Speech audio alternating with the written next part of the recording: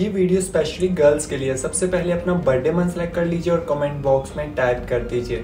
फिर मैं आपको बताऊँगा कि इन फ्यूचर जब आपकी शादी होगी तो सबसे ज़्यादा कौन रोने वाला जानना चाहते हो? वीडियो को सबसे पहले लाइक कर दो। कर दिया? लो, देख लो।